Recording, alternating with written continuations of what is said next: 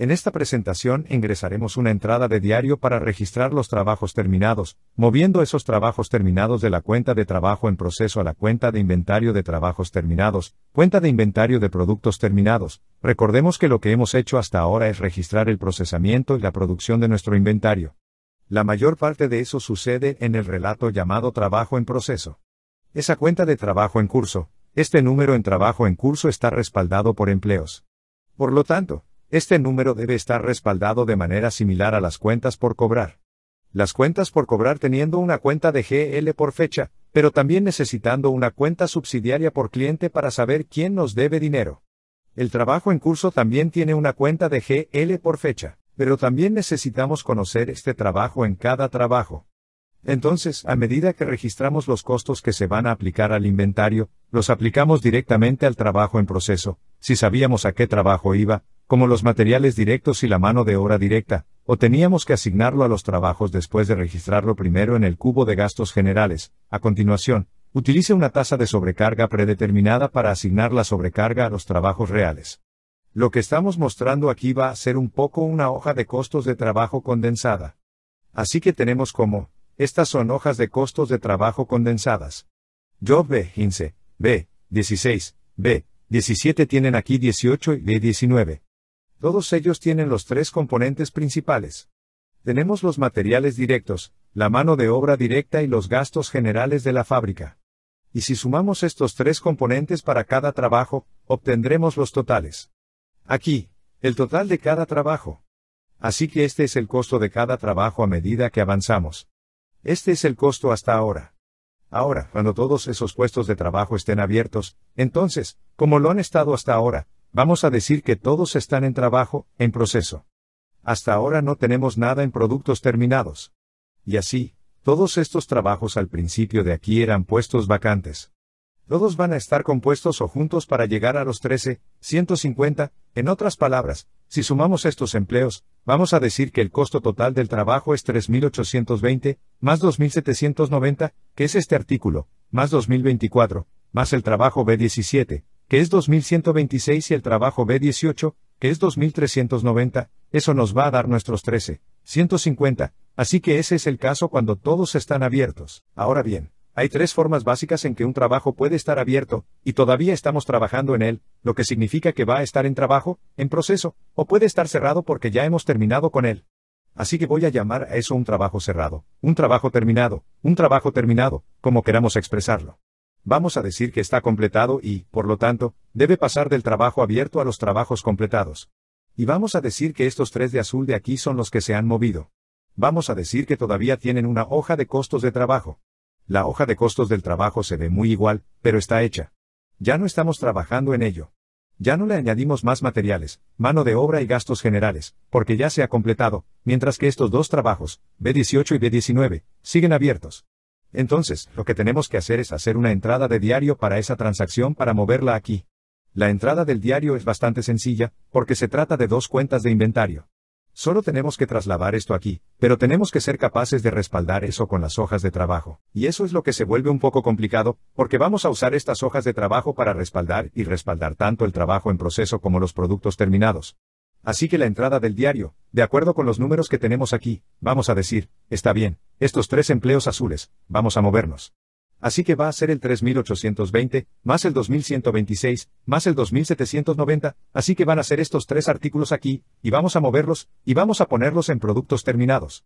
Así que hagámoslo ahora con una entrada en el diario antes de hacerlo. Sin embargo, solo quiero recordarnos cómo se han visto las hojas de costos de trabajo completas que hemos estado mirando.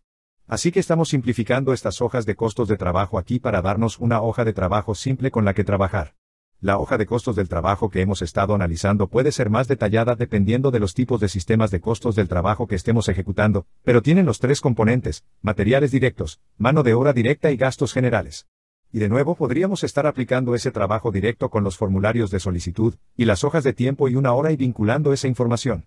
Pero en esencia, por supuesto, vamos a terminar con materiales directos totales, mano de obra directa total y gastos generales, que son nuestros trabajos. Y luego vamos a elegir esos trabajos, como lo hicimos aquí. Mira, solo tenemos básicamente los totales en esta pequeña hoja de trabajo. Tomaremos los totales aquí, elegiremos los trabajos que están abiertos, los trabajos que a medida que cierran, estamos, y asignarlos en este proceso. Así que aquí hemos hecho esto. Vamos a ahorrar. Recuerden que nuestro monto es 8.745 para estos tres empleos azules que vamos a sacar. Y luego la entrada del diario es bastante sencilla. Simplemente los vamos a sacar del trabajo en proceso. Esta es una cuenta de saldo deudor. Tenemos que hacer que baje. Y, por lo tanto, haremos lo contrario a un crédito, y lo pondremos en el inventario de productos terminados. Este es también otro inventario que es una cuenta de saldo de activos. Tiene que subir. Así que vamos a hacer lo mismo que su saldo normal, que es un débito. Así que vamos a seguir adelante, y debitar el inventario de productos terminados para ese 8736, la suma de estos tres trabajos. Y luego vamos a dar crédito al trabajo en proceso por ese 8736, simplemente moviendo ese número de aquí para acá de nuevo. La parte difícil es asegurarnos de que tenemos la documentación de respaldo correcta con los trabajos para respaldar tanto el trabajo en proceso ahora como las cuentas de productos terminados. Así que vamos a publicar esto ahora en el libro mayor. Así que aquí están nuestros productos terminados, vamos a publicar esto. Va a ir de 0 en 8736 a 8736 que luego se encuentra aquí en nuestro balance de prueba. Así que aquí está nuestro balance de prueba final hasta ahora, y luego tenemos nuestro trabajo en proceso. Vamos a darle crédito. Así que fue en 13, 150 que vamos a acreditar por ese 8736, moviéndolo hacia afuera y hacia abajo a 4000 por 114, y esa, por supuesto, es la cantidad que vemos aquí en el balance de prueba.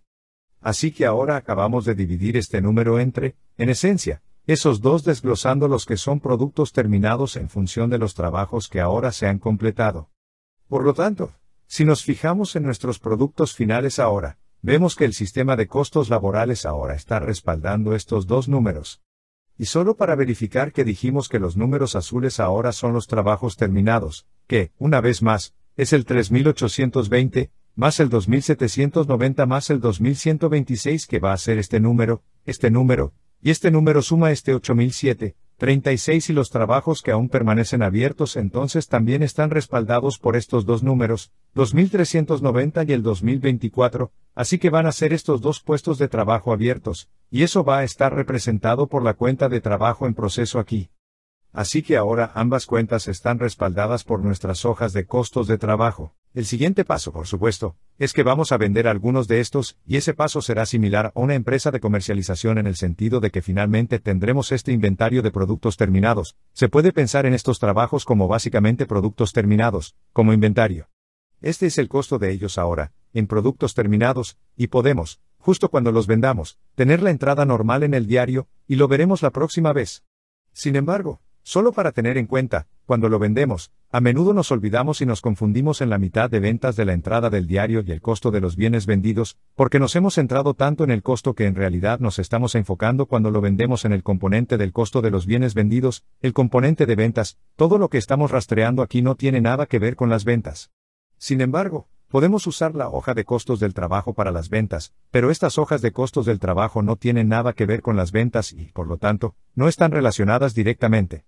En otras palabras, podemos, por ejemplo, usar nuestra hoja de costos del trabajo como construcción de nuestra factura y decir, nuestra factura, mira, teníamos esto en materiales directos, tanto en mano de obra directa, tanto en gastos generales y podemos decirles a nuestros clientes que tenemos un margen de beneficio del 30 o 40% y decir que el precio de venta sería 23.902.390 multiplicado por un margen de beneficio del 30%, punto 3 más el 2.390 y cobrar luego 3.107. Esa es una forma en que podríamos construir la factura.